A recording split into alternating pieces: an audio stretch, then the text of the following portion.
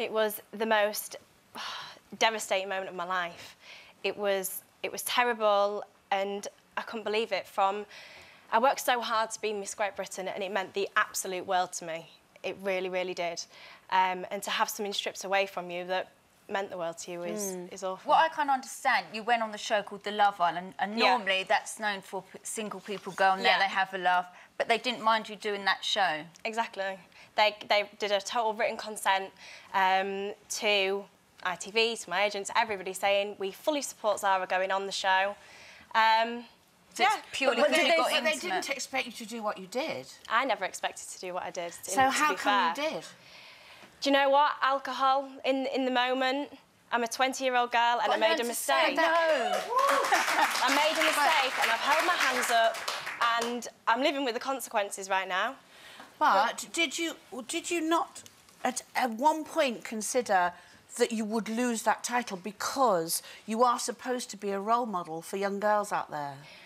Do you know what? I'm a massive lightweight and uh, I can't drink champagne and there was too but much that's alcohol not, involved. But that's not an excuse. What I'm asking you is, I'm well, not did you not did you not think at the time I've just got that wonderful title, therefore I must hold myself back? I won Miss Great Britain in September and been in the villa. Uh, when you're on a sort of reality TV show, no contact with the outside world, it's very hard and you don't see the cameras. There's no cameramen there. I was in the hideaway, so it was very private. It wasn't in front of everybody.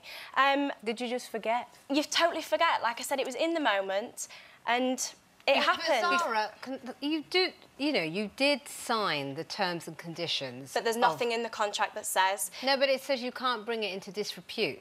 Mm -hmm. So, at the end of the day, you know, it's not that you had sex on TV.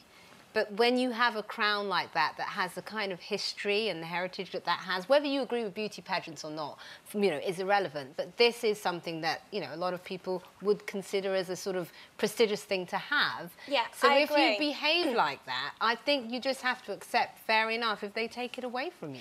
I sort of disagree because Miss Great Britain really promote themselves and pride themselves as a modern day beauty pageant. We're living in 2016 now, we're not in 1950s. not modern day. That's got nothing Come to do with being in 1950. Yeah. It's to do with respect for you, yourself, yeah. your family. Mm -hmm. Which I agree watching. on. I totally agree on.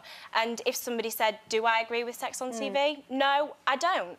But right now, I know I had that title, and, and if I'm totally honest, I've been the hardest working Miss Great Britain that they've ever had, and they ever, ever will. We get some pretty fabulous guests here on Loose Women. There's plenty more where that came from. Just click here to watch more interviews with a whole range of famous faces.